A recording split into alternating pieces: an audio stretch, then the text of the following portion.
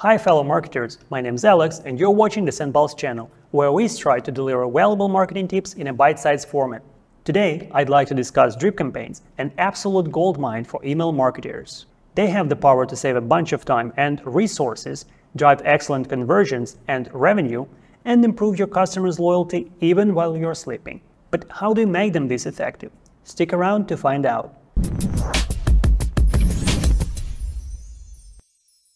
So, drip campaigns. They are often mistaken for triggers as they both can be launched as a response to a user's actions. The main difference is that triggers consist of just one email, while drip campaigns are a series of emails that get automatically sent at predefined intervals. They are pretty easy to create and maintain, yet they still drive increased click-through rates and higher revenue.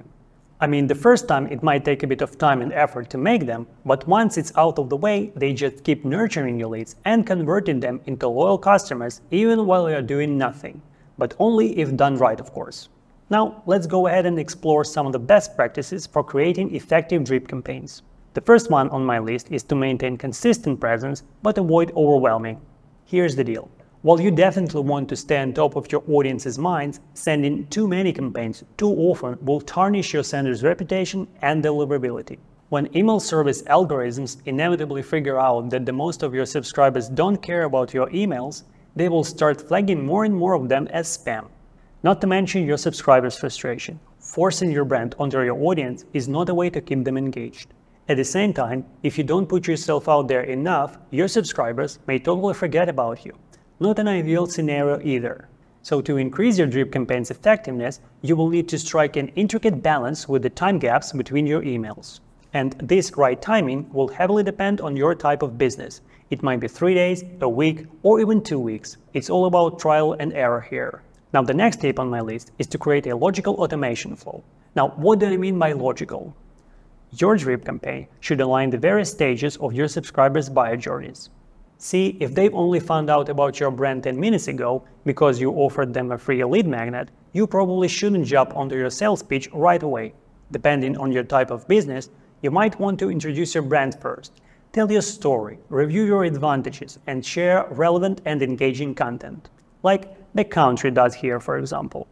After gently moving your audience down your sales funnel, you can start incorporating your pricing, discounts, special deals, and flash sales. The next one is fundamental. Always provide value to your audience. Content is king, we all know that. So to build and retain trust with your audience, you must consistently deliver high quality and informative content. Mixing and matching different formats to keep it engaging is always a good idea. You can include videos, case studies, checklists, ebooks, infographics, webinars, and guides to educate your audience and convince them that your brand is what they need to solve their problems. Also, it's all about content personalization. Drip campaigns are not synonymous with mass emails for a reason. They don't have to be generic, nor should they be. You can share relevant content with the right people by gathering user data and segmenting your audience. It might include grouping your audience based on demographics, browsing behavior, or purchase history to deliver highly targeted content, which will not only improve your users' sentiment towards your brand, but also increase conversions and revenue. In fact, 91% of consumers are more likely to shop with brands that can recognize and provide relevant recommendations, so try to keep it personal. And last but certainly not least, Make the most out of your subject lines. Statistics show that people tend to receive more than 100 emails daily. Therefore, it's easier for a campaign to drown in those busy inboxes unless something makes it stand out.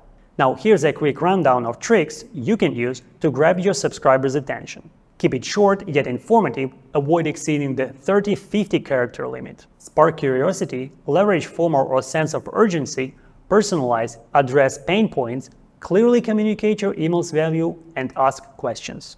Now I can't possibly go into detail on all of those subject line tricks, so I highly recommend you save this video for later.